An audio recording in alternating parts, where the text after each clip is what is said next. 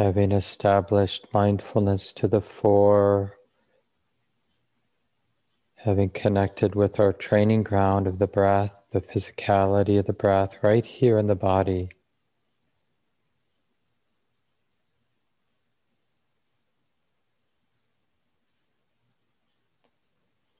The Buddha then suggests that we can sharpen the attention in a gentle way by being interested in the length of the breath coming in and the length of the breath going out. Because it's a very helpful barometer for the settling of the body and mind.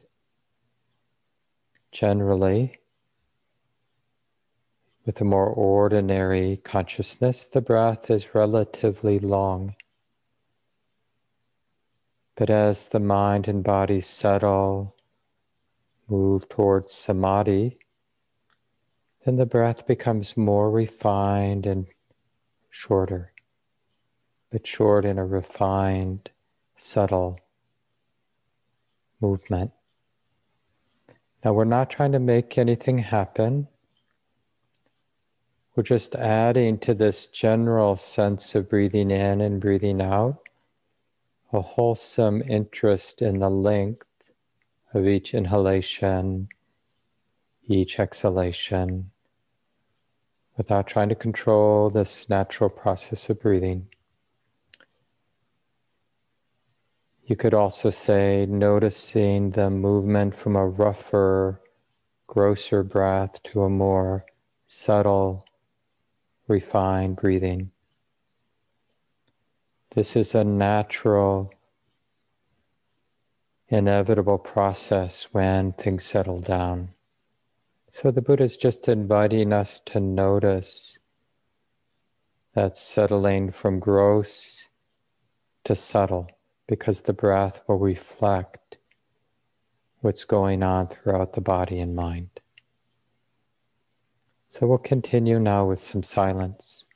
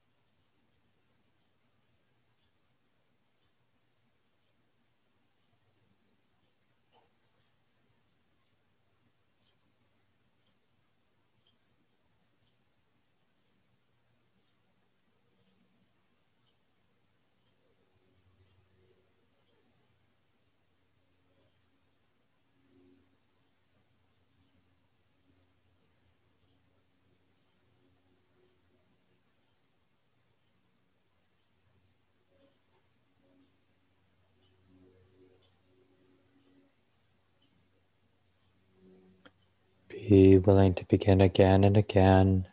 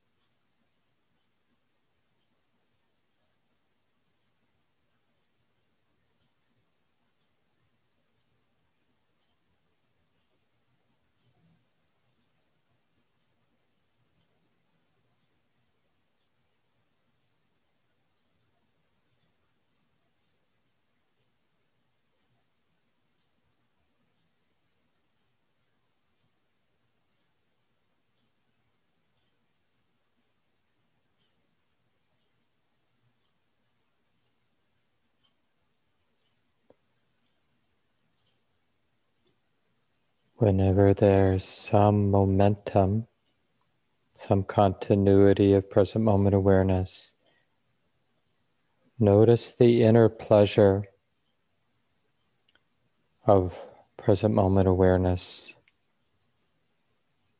The mind not so pushed around by the diversity of experience, and instead just knowing this one thing, breathing in, breathing out.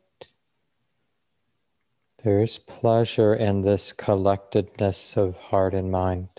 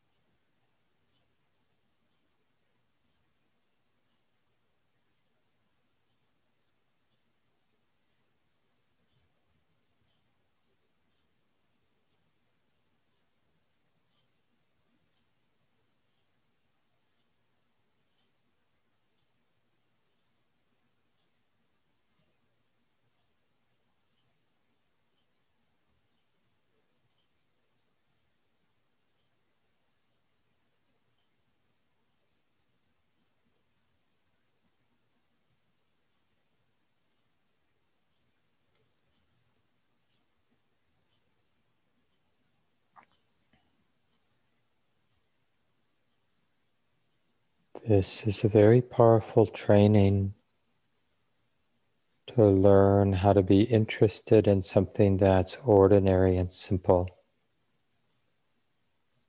Don't dismiss the practice because it's so ordinary, ordinary and simple.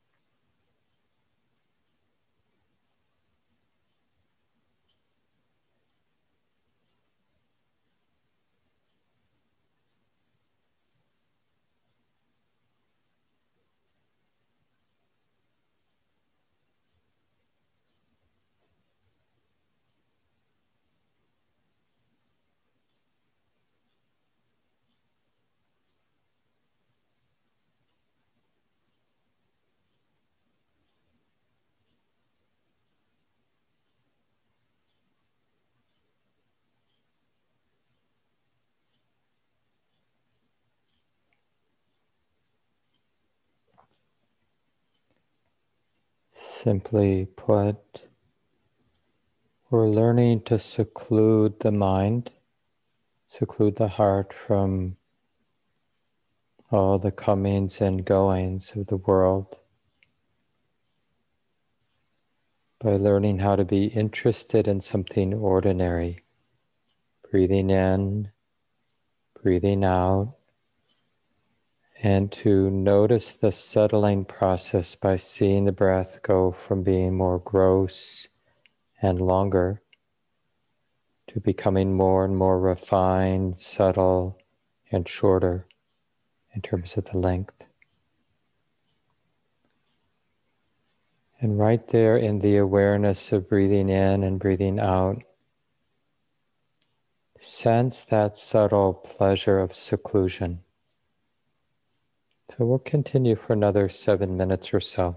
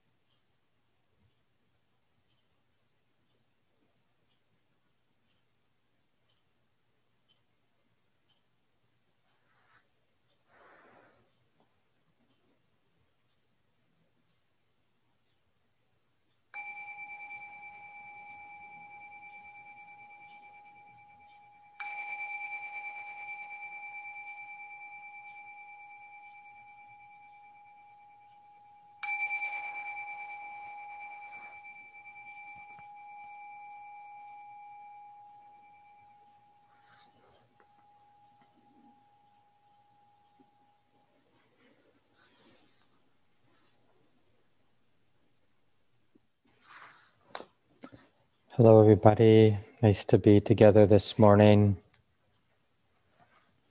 Just take a moment, and you might even feel whatever it is, but you might even feel some reverberation from that pleasure of seclusion that I mentioned in the guided instructions.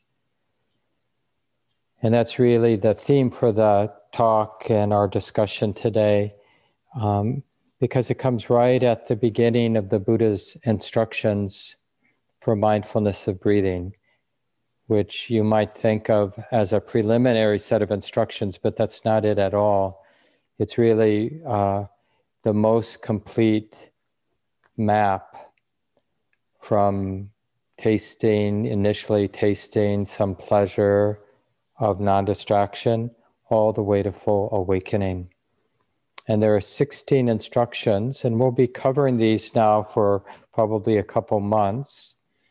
And I've just put into the uh, chat a link, and there are a number of resources that you can check out. So you feel free to copy that link and then take a look later after the program today, or put it, uh, bookmark it. And I think Gabe Keller Flores, our office manager, will be having that link with many resources for mindfulness of breathing um, in the weekly email and on the blog on the website. So you have other ways to access it. For those of you who have time and interest and want to really understand, this is how, even after the Buddha's awakening, this is how he practiced. So it's good enough for the Buddha, probably good enough for us. And of course, these different sets of instructions that the Buddha gave over the course of 45 years of teaching way back when. They're just different maps covering the same territory. So it's not like, well, I got to do this or should I do that? So, you know, part of it is just when you're in a situation where there's a teacher teaching, then it's a good time to, okay, this may not be how I'm inclined to practice, but if I'm going to show up to this talk anyway, maybe I'll hear it and I'll check it out. And then that way, you know, even if it's not the primary map that we use over the years of our practice, it will really inform whatever map, whatever way of practicing that you do take up. There's nothing in these 16 steps that are sort of specific to the breath.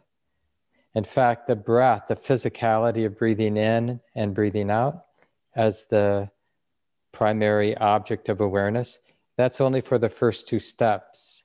And then after step one and two, which basically covered this morning in the instructions, the awareness of breathing in and breathing out, in a sense, falls into the background or the periphery of awareness. It's there. Awareness is aware that I'm breathing in or breathing out, but it's not in the forefront of attention like it was with the instructions this morning. And there's a very particular medicine that we're trying to access with these first two instructions.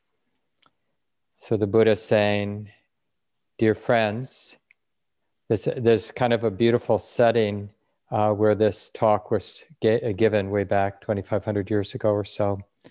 And uh, nuns and monks had gathered, as they did from time to time in larger groups. After um, the followers of the Buddha got pretty big, that it got to be problematic because it was a wandering group. They weren't supposed to stay put as a way, as a mental training, because they'd get attached. The local people would really like the nuns and monks, and oh, please stay. And so the Buddha, the basic encouragement was just to keep wandering. You might stay for a few days, but then keep wandering. But the nuns and monks uh, caused damage to the crops because there were so many of them during the rainy time of year when they were planting and the plants were small. So the farmers asked the Buddha if they could just not do so much wandering during that time of the year, the rainy time of the year. So way back then, at the time of the Buddha, it became the etiquette during the rainy season for about three months to stay put. So this is one of those situations where a large gathering of nuns and monks were staying put. And there were some teachers there, including the Buddha, some senior people in the Sangha, including the Buddha. And the Buddha was giving a talk one morning and just feeling so much mudita, so much appreciative joy about how much progress all the people were making in their practice. And so the first part of the talk is just him doing riffs on how wholesome, how beautiful what's happening here is.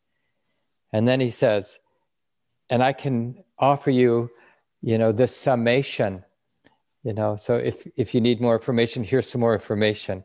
And that's when he gave this talk on mindfulness of breathing and invited everybody to stay longer so to practice together and to get instructions from the senior people in the community, in the monastic community.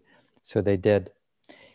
And so the first instruction is to find a quiet place, secluded hut, a big tree to sit underneath, compose your body in an upright way, in a stable way, and establish mindfulness to the fore. And basically, for the first two instructions, you know, breathing in long, one knows I'm breathing in long. Breathing out long, one knows I'm breathing out long. Breathing in a short, shorter breath, one knows I'm breathing in a shorter breath. So, of all the many, many things I could be paying attention to, there's this really powerful and beautiful resolve to just know this one thing. But it doesn't come from tension or a controlling tension. It's really more about this wholesome interest. Why not just let go of the whole world of what I might be thinking about, what I might be paying attention to, and just attend to the physicality of breathing in and breathing out clearly enough to recognize whether it's a rel- relatively long or short breath. So I can't just have a general sense that I'm breathing in and out. I need to be attentive enough to sense if it's a longer or a shorter breath. And you know, people could spend thousands of dollars on this biofeedback stuff. Maybe some people in the crowd this morning have done that. And it's neat stuff. I mean, I'm not putting it down, but we all have a built in biofeedback mechanism because the body and the mind reflect each other. So when the mind, the heart begins to settle, gather, collect, right? This is what the word samadhi means. The mind, which is normally dissipated and scattered because of our, you know, reactions to each experience that's coming at us. I mean, we're bombarded by sense impingement what we see, what we hear, what we think, what we feel, what we touch, what we smell, what we taste, literally bombarded. And each sense impression, the mind can help itself but have some kind of reaction. I don't care about that. I'm going to ignore it. I really like that. I don't like this. And with each of those reaction, it wants to continue to proliferate. What I talked about the last few weeks, papancha, mental proliferation. So this is just the destiny of a sensitive heart with a diversity of experience. We're going to be spun around, pushed around, ups and downs. This is our destiny for an untrained mind. So the in spiritual practice, not just in Buddhism, but just generally any helpful spiritual system is going to have some way to collect the energies of the mind. What do you think drumming circles are about, or chanting, or prayer, or any number of these sort of spiritual rituals that humans have been engaged in since the beginning of time? It's just something big, even storytelling around a fire, right? It's like whether we're going to find food tomorrow or not leaves my mind because I'm just riveted to the fire and the story that's being told. So there have been, since the beginning of time, rituals to help people touch into the pleasure of seclusion. That just means that the mind is temporarily letting go of being concerned about this and that. And the way it does that is it gets interested in one thing. I think about a grandmother or a, a parent holding a, a child who's having a difficult time and crying and upset. And what do they? They rock the child, they give it a concrete experience. And if the rocking's not enough, they might sing or hum to the child. And it gives the child something very concrete to notice in a sense, to distract it from what it might be causing it to get agitated. Take the mind off of what's triggering agitation and allowing everything to settle and soothe and gather and unify. Well, this is the beginning of these complete, full path, beginning with tasting the pleasure, very real, subtle, but very real pleasure of seclusion, all the way to full, unshakable release of the heart, full awakening, these 16 steps. And the key, you know, as we go through them systematically over these next couple months, is to get interested and to really, uh, even if it's just borrowed faith, check it out. Right? That's that famous line from the discourses, ehi passiko. It's like the most common line in the in the di- discourses. Please come and check it out. That's such a practical invitation from the Buddha as a spiritual teacher. You know, don't believe me. Don't believe what I'm saying is true. Check it out for yourself. And the whole, you know, the whole gist of the path is about becoming independent. Here's a really beautiful story. Some of you who are in the Minneapolis, St. Paul area, have come to the center, noticed on our altar in our meditation hall, we have a statue of Mahapajapati. And uh, she is one of the awakened ones from the time of the Buddha. And uh, some of you know, at least as the story goes, the Buddha's mother died at childbirth. And so the Buddha was raised by his aunt, um, his mother's sister. Um, Mahapajapati was her monastic name because later, after the Buddha's awakening, a few years after that awakening, he wandered through the place where he was born, and several of his relatives uh, shortly after wanted to become part of the monastic Sangha, including his uh, aunt who raised him and some of his cousins. And so um, Mahapajapati was the first bhikkhuni, uh, ordained nun and uh, many other women then ordained, which is a pretty radical thing at the time of the Buddha. Yeah, you know, more patriarchal than probably our society was, but uh, uh, they started a female sangha, and uh, once she came to the Buddha for some teachings, and uh, said to the Buddha, "Would you teach me the Dhamma, the teachings, in a brief way?" Such that having heard these teachings from you, I might dwell alone, secluded, heedful, ardent, and resolute. And, you know, just because of the way things were, they'd get some teachings and then they'd sort of go off by themselves for much of the year in small groups, maybe probably without a senior teacher there, but they've gotten some teachings and so they use them. So this was the teachings in brief then that the Buddha offered uh, this bhikkhuni, this nun, but just ha- so happened to be the woman who raised them.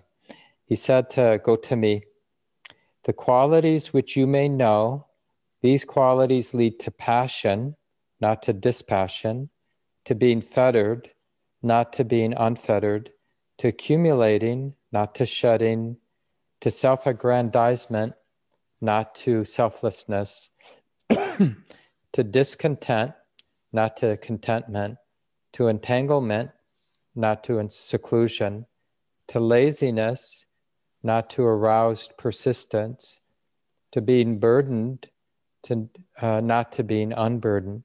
You may categorically hold this is not the path, this is not the training. So, this is not this is something we can understand, like in terms of getting independent and how to use these 16 instructions.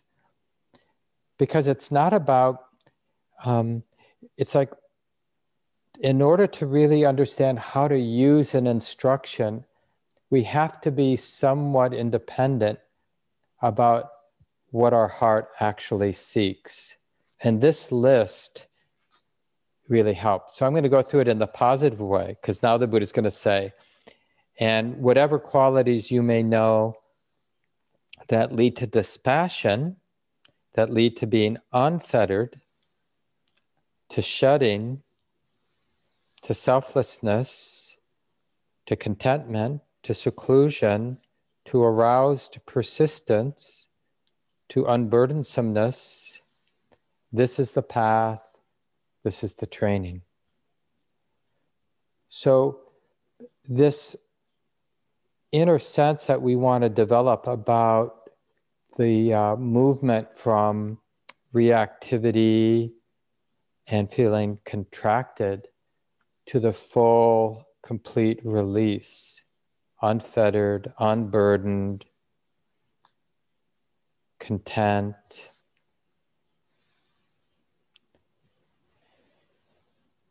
Uh, enlivened, right? So it's not like dead. It's there's something very awake, very enlivened, but simple. So this is this should, when we reflect on what the Buddha said to go Gotami, Maja, Majapatapati, uh, Gotami is her family name, just like the Buddha's Gotama, but the female members of that family Gotami. So that that was sort of the familiar name.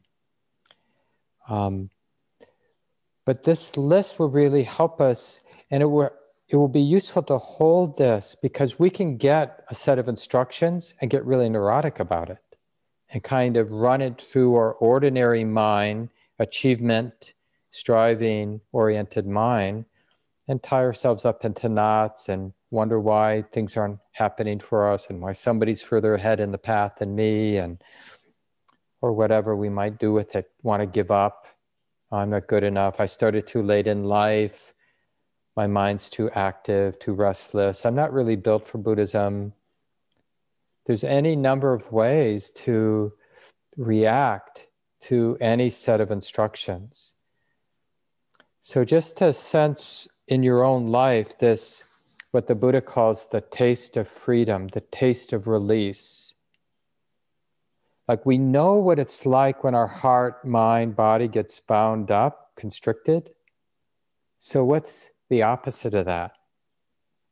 The unshakable, release, releasing of any constriction. There's another teaching that I thought might be useful for us to reflect on as we're beginning the study of the Buddha's. It's called Anapanasati, is the name. Anapana just means in and out breath. So, mindfulness of the in and out breath. And that's just like I mentioned, the frame for the Buddha giving instruction for the whole path.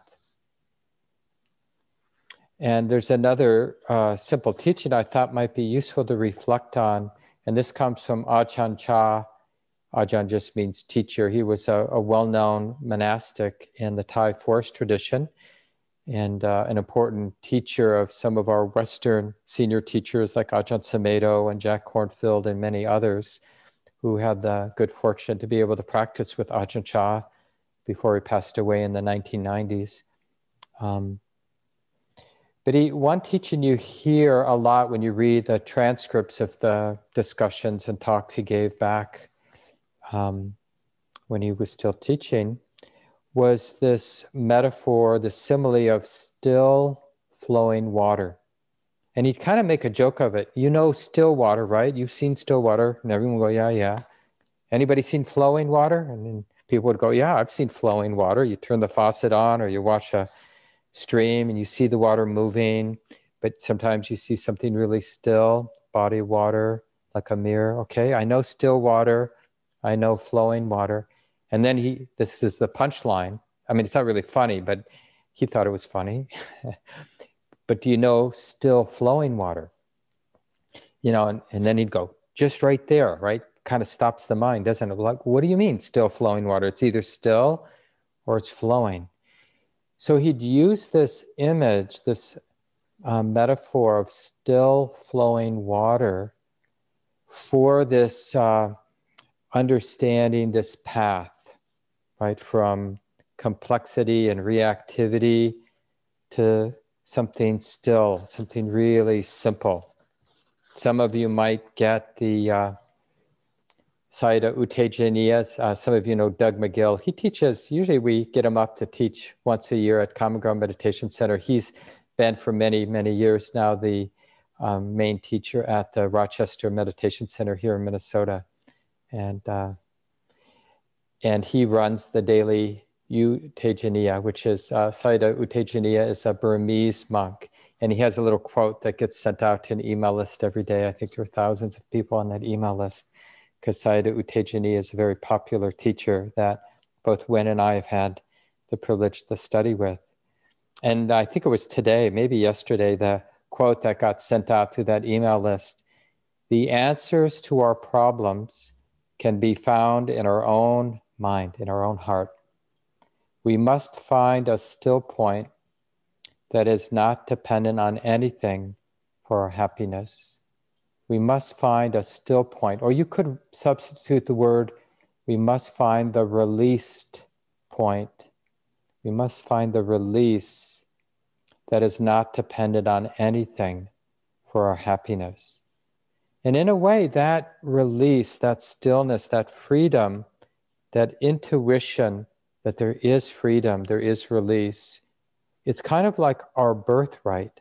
But that doesn't mean it's obvious or that we've realized it.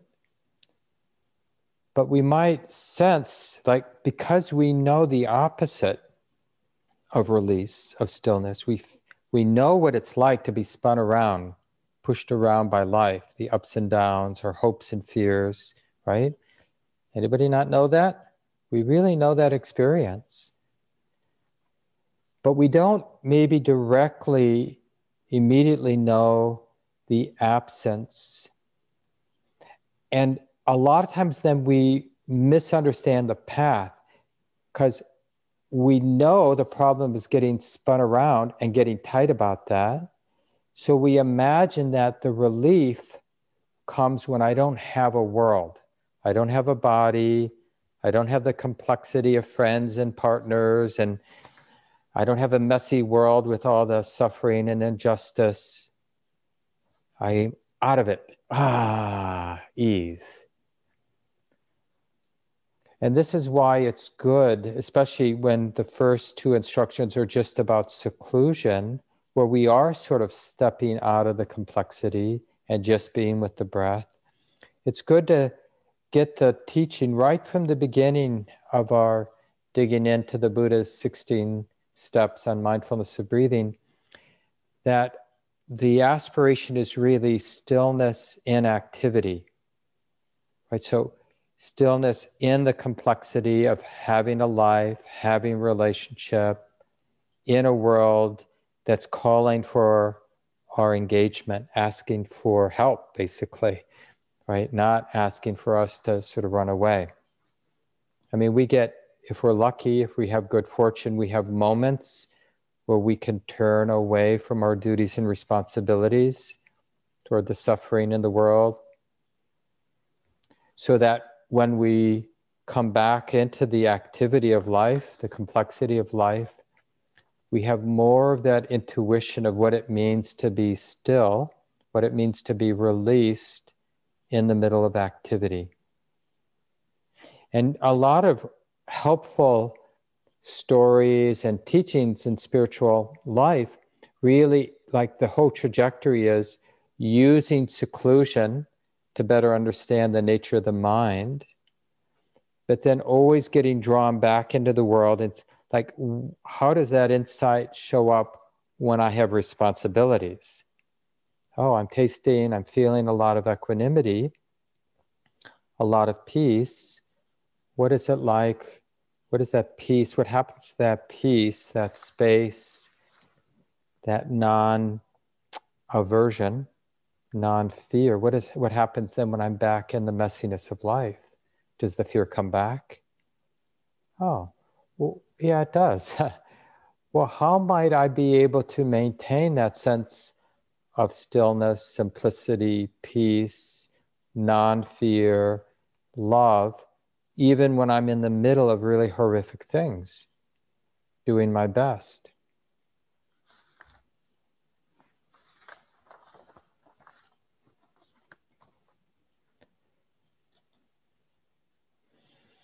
So, the in, in this long path of awakening, and it's, I think, useful to have a really vast view. But even though it's vast, it doesn't mean that we're not in moments really practicing at this endpoint, which is realizing that non fear because of that sense of emptiness, stillness, or release, so that we have different words we use in the Buddhist tradition that just point to that experience that there's no problem here. So we might, in some moments, be practicing right in the middle of hell, right in the middle of complexity, but really being grounded to some degree, at least, in that sense, it's okay. And we might have a lot of emotions even getting triggered. That's okay too. And people around us might have a lot of not so skillful emotions too. But there's some something quite alive and trustworthy that isn't having a problem with life in its messiness. But it's important also. So, just because we're going to emphasize this beginning part of the path at the next few weeks, I don't want to pretend that there won't be moments we're practicing being an enlightened being. Let's just call that right, right, where where we're able to manifest to some degree being awake and unafraid and free, even in the difficulty of life. But let's come back and spend the last few minutes today just really talking about um, and reflecting on the pleasure of seclusion so that we can develop this competency, this spiritual comp- competency.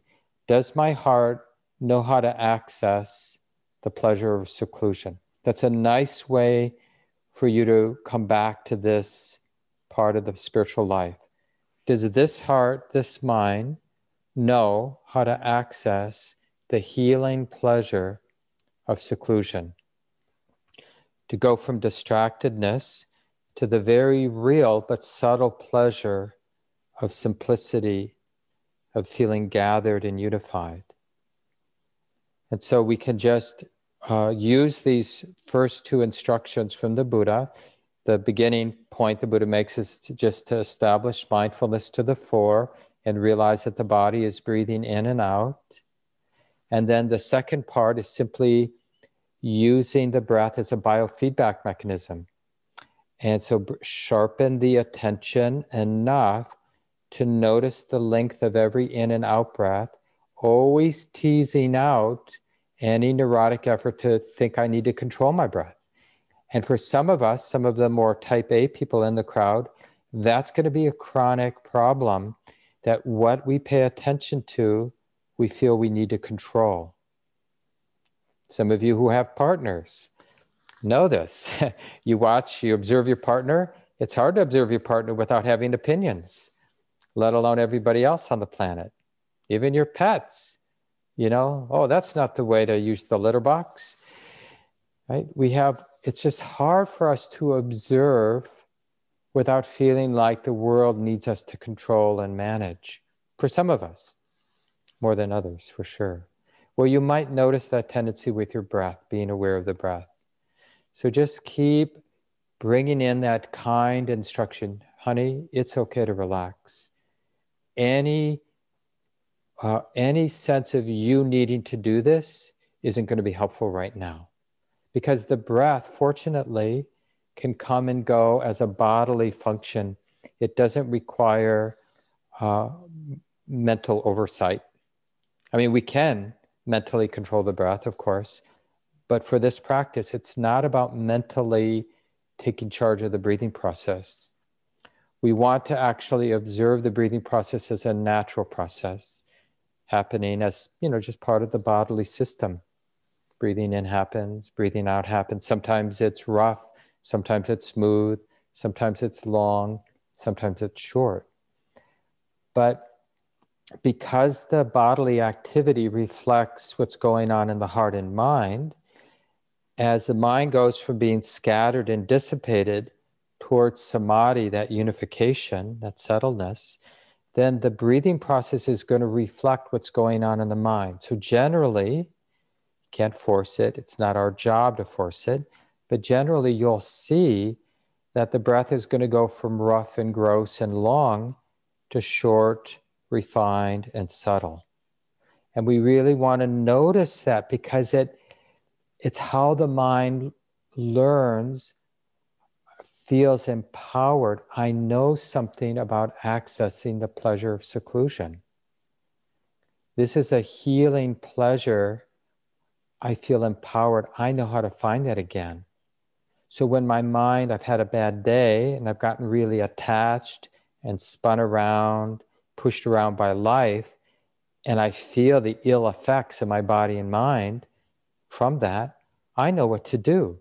Find a rel- relatively simple environment and withdraw the mind. Use some aspect of the present moment reality, like my breath, and gather all the energy of the mind in that activity until I start to feel the pleasure of that simplicity. It's not so much the breath provides the pleasure, it's the no longer being pushed around by the diversity of experience because all that has retreated into the background. And what's in the foreground is the ordinary experience of breathing in and out and the pleasure of how simple everything is right now, how secluded the mind is right now from everything else. So it's available, and it's just a matter of developing that spiritual or mental muscle.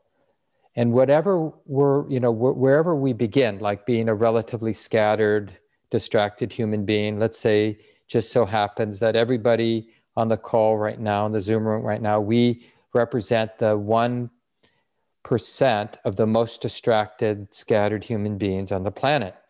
But it doesn't matter because all of us can move from what our habit is to developing the habit of unification.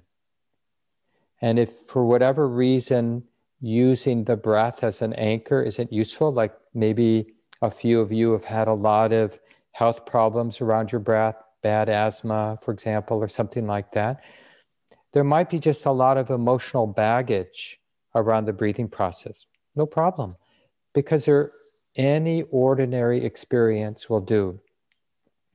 The breath is nice because it has this biofeedback, you know, because it's a dynamic process, it changes as the whole body and mind settle. But you could just use whole body awareness. That would be another just sort of default anchor to use. Just use the totality of the experience of the body sitting. And the breath can be there, but not in the forefront of attention.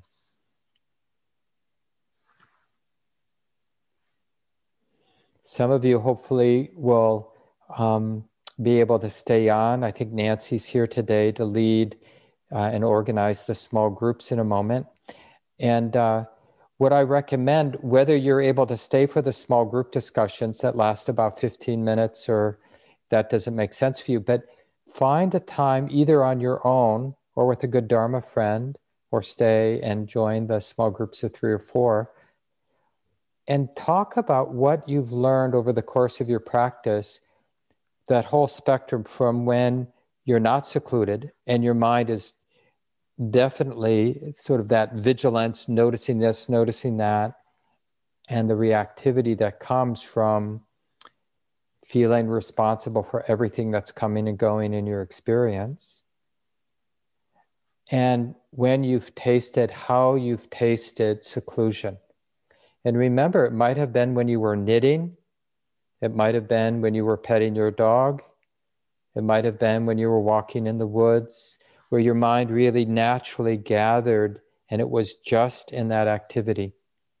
It might have been when listening or playing music, or maybe you were in one of those drumming circles, right? Or doing some of the chanting. These are, or prayer. But it's nice with a friend who's sort of got some practice uh, experience too, to talk out loud and to learn from each other about this movement from distraction to the pleasure of seclusion. And then specifically, how you might use something like the breath to really facilitate that learning, how to go from distraction to the pleasure of seclusion, and really having a visceral sense of the pleasure of seclusion. So, this is a theme you might use for the small groups today. Of course, anything that seems relevant to what how you're using your practice is a good, you know, these small groups that we have that Shannon and Nancy help organize at the end of the Sunday morning. It's appropriate to bring up really anything related to practice. But it's nice for us to kind of develop the theme together. And then, like I mentioned, there, there's the resources that you can check out. And here at the beginning of the year, there are many things starting up. So there's a Buddhist studies class starting for eight Mondays, starting tomorrow night, that I'll be teaching on mindfulness of the body, embodiment. People are welcome to join in for that. Please sign up. And then on Tuesday night, two things are happening. Jean Haley is going to be joining that Dhamma Among Us. That's that Tuesday evening program that Shelley and Patrice um, MC where they're inviting in a diversity of voices and different ways the practice is showing up. And Jean, one of our regular Dharma teachers, is going to be teaching about money and relating to money in terms of our practice. But I'll also be starting a six week introduction class on Tuesday evenings. Still plenty of space. If you know anybody or if you yourself would be interested in that refresher course, just sign up for that Tuesday evening class. Shelley, of course, will be doing her their normal teaching on Wednesday night, the Wednesday evening practice group. Uh, Shelley and I will be doing a two day online retreat over President's Weekend. It's actually the Friday before President's Weekend in the middle of February and all day Saturday. So, all day Friday, all day Saturday. And of course, many other things coming up. I think we're still looking for a few people to help out with the snow team, people who live in the area, Minneapolis area, who can help shovel and use our snow beast. We have a powerful snow machine, um, snow blower. So if you're able to do that, let the center know, and Gabe will connect you with Rob and the other people on the snow blowing team. And really nice to be with everybody this morning. I'll go ahead and uh, make Nancy Bowler, one of our longtime teachers, yoga teachers, the host, so Nancy can organize the small groups. But if you don't want to stay along for the small groups, you can say goodbye now. Take care, everybody. Stay safe.